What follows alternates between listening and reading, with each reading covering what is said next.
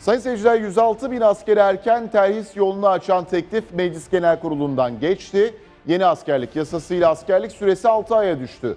Bedelli askerlik ise kalıcı hale geldi.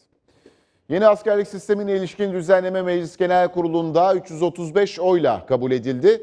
Yasayla askerlik süresi 6 aya indi. Böylece 6 ay askerlik yapan 106 bin kişinin erken terhis olmasının yolu açıldı.